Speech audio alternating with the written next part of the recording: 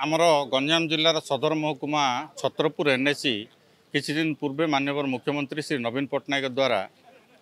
ମ୍ୟୁନିସିପାଲିଟିର ମାନ୍ୟତା ପ୍ରାପ୍ତ କରିଅଛି। ତେଣୁ ଏହି ମର୍ମରେ ଆମେ ମାନ୍ୟବର ମୁଖ୍ୟମନ୍ତ୍ରୀ ଶ୍ରୀ ନବୀନ ପଟ୍ଟନାୟକ ମହୋଦୟଙ୍କୁ ଧନ୍ୟବାଦ ଏବଂ କୃତଜ୍ଞତା ଜ୍ଞାପନ କରିବା ପାଇଁ ଛତ୍ରପୁର ଏନ୍ଏସିର ଏକ ପ୍ରତିନିଧି ଦଳ ଆସିକି ଆଜି ମାନ୍ୟବର ମୁଖ୍ୟମନ୍ତ୍ରୀଙ୍କ ପାଖକୁ ଆସିଥିଲୁ।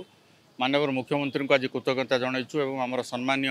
ଫାଇଭ୍ ଟିର ଅଧ୍ୟକ୍ଷ ଶ୍ରୀ ଭି କେ ପାଣ୍ଡିଆନ୍ ମହୋଦୟଙ୍କୁ ମଧ୍ୟ ଆମେ କୃତଜ୍ଞତା ଜ୍ଞାପନ କରୁଛୁ।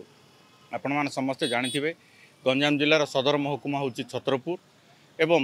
ଏହାର କ୍ରମବର୍ଦ୍ଧିଷ୍ଣୁ ଜନସଂଖ୍ୟା ଏବଂ କ୍ରମବର୍ଦ୍ଧିଷ୍ଣୁ ଆୟତନକୁ ନେଇକରି ସହରବାସୀ ଦୀର୍ଘଦିନ ହେଲା ନିବେଦନ କରୁଥିଲେ ତାକୁ ମ୍ୟୁନିସିପାଲିଟିରେ ରୂପାନ୍ତରିତ କରିବା ପାଇଁ ଏବଂ ଯେତେବେଳେ ମାନ୍ୟବର ମୁଖ୍ୟମନ୍ତ୍ରୀଙ୍କ ନିର୍ଦ୍ଦେଶ କ୍ରମେ ଆମର ସମ୍ମାନୀୟ ଫାଇଭ୍ ଟିର ଅଧ୍ୟକ୍ଷ ଛତ୍ରପୁର ଗସ୍ତରେ ଆସିଥିଲେ ସେତେବେଳେ ମଧ୍ୟ ବହୁ ବୁଦ୍ଧିଜୀବୀ ଜନପ୍ରତିନିଧି ସମସ୍ତେ ଲିଖିତ ନିବେଦନ ମାନ୍ୟବର ମୁଖ୍ୟମନ୍ତ୍ରୀଙ୍କ ଉଦ୍ଦେଶ୍ୟରେ ଦେଇଥିଲେ ଏବଂ ଲୋକମାନଙ୍କର ନିବେଦନକୁ ଦୃଷ୍ଟିରେ ରଖି ଦୀର୍ଘଦିନର ଅ, ଦାବିକୁ ଦୃଷ୍ଟିରେ ରଖି ଯେ ଆଜି ମାନ୍ୟବର ମୁଖ୍ୟମନ୍ତ୍ରୀ ଗଞ୍ଜାମ ଜିଲ୍ଲାର ସଦର ମହକୁମା ଛତ୍ରପୁରକୁ ମ୍ୟୁନିସିପାଲିଟିର ମାନ୍ୟତା ଦେଇଛନ୍ତି ଆମେ ନିଶ୍ଚିତ ଭାବରେ ତାଙ୍କୁ ଆଜି ଆମେ କୃତଜ୍ଞତା ଏବଂ ଧନ୍ୟବାଦ ଜ୍ଞାପନ କରୁଛୁ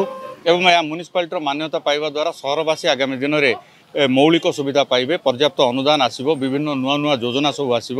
ସହରବାସୀ ନିଶ୍ଚିତ ଭାବରେ ଉପକୃତ ହେବେ ରୂପାନ୍ତରିତ ହେବ ବିକାଶ ସହରକୁ ନିଶ୍ଚିତ ଭାବରେ ଛୁଇଁବ।